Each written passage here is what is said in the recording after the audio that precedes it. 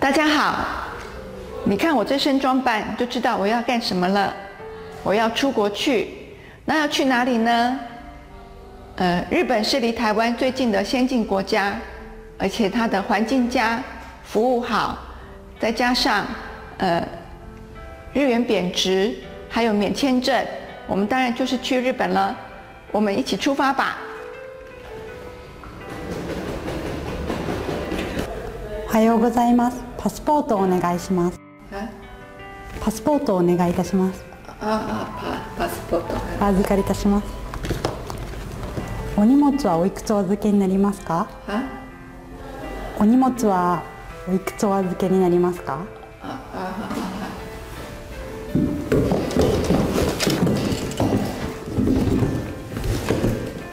お一つでよろしいですか？窓際と通路際がありますけど、どちらがよろしいですか？え？窓際と通路側の席がございますがどちらが？通路側でよろしいですか？こちらがお客様のボーディングパスになります。43番ゲートは43番になります。ありがとうございました。大家好，大家有没有去过日本？结果发现语言不通，鸡同鸭讲，甚至比手画脚的画面呢？或者是你想去日本，害怕语言不通，结果趁兴而去，败兴而归呢？没关系，请大家来上这一门背包客日语。我们的课程呢是从最基础的五十音开始，呃，我们都会有前面都会有一段情境的绘画，包括呃入关、饭店 check in，还有餐厅点餐，还有购物等等，呃相关的日语绘画。只要大家修了这门课程啊，就可以了解到日本的时候啊会发生的种种情况。那本课程的特色呢，就是由一位中级老师，就是我张婷婷，还有一位日籍老师大原千管老师一同授课。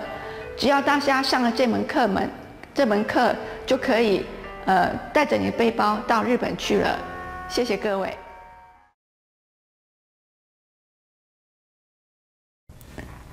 好，我们看一下他行。他行第一个字，它念特啊塔，啊塔。那我们看看塔怎么写？一、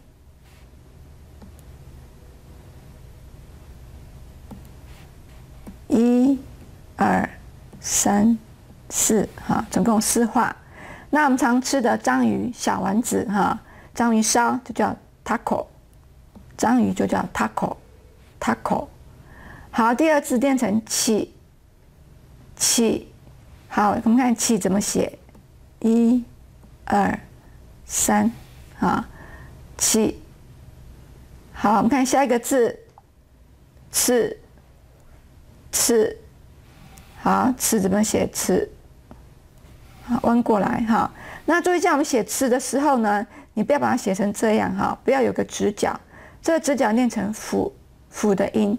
所以这个是错的，我们要把圆这个要比较圆滑一点啊，平假名就是比较圆滑。好，所以念成吃。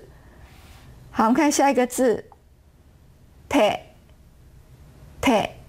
那么在写 t 的时候呢，记得这个底面弯进来，好，就像手一样弯进来哈。那这个 te 就是手的意思，te。好，我们看下一个字，to to。好，我们看头怎么写，先写这一横，再把弯过来，好，念成头头。好，请同学再跟我念一次，他七吃铁头，他七吃铁头。好，来我们复习一下这个字怎么念，同学还记得吗？好，这念成他他。好，这个字还记得怎么念吗？头头。好，我们看这个字，这个字念成“起”还是“吃”呢？因为“起”跟“吃”同学常常会搞混，所以同学回想一下这个字念成什么？它念成“起”，起。好，我们看下一个字，手，手。好，我们刚说过手就叫手。好，记得看这个有点像手的样子哈，手。好，接下来刺，刺。好，那这就是他行。